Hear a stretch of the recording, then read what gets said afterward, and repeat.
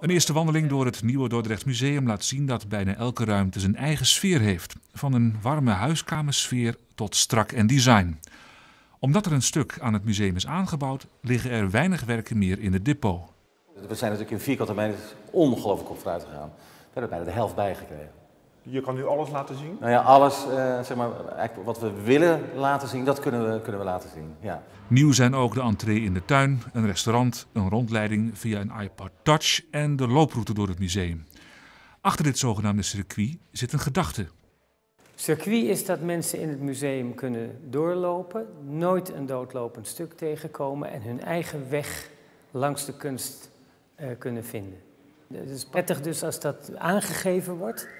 Uh, dat, dat, het duidelijk is, maar tegelijkertijd een beetje geheimzinnig, zodat er ook wat te ontdekken valt. De verbouwing heeft liefst twee jaar geduurd.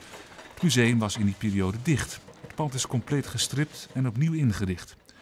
Belangrijk en tevens grootste kostenpost zijn de beveiliging en klimaatbeheersing.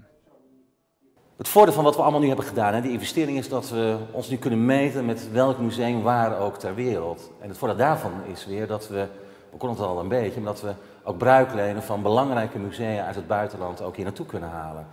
Niet uit het buitenland, maar wel nieuw is dit doek van Tolen. We hadden ooit een tolen en die is helaas verbrand uh, toen in Amersfoort. En ons wens was om nog, een, om nog een tolen toe te voegen aan de collectie. En dan kom je ineens eentje tegen en wat meteen zoiets, wat een waanzinnig mooi schilderij is dit. Dordtenaren kunnen tot het eind van het jaar gratis naar het museum. Zaterdag wordt het Dordrecht Museum officieel geopend door staatssecretaris Zelstra.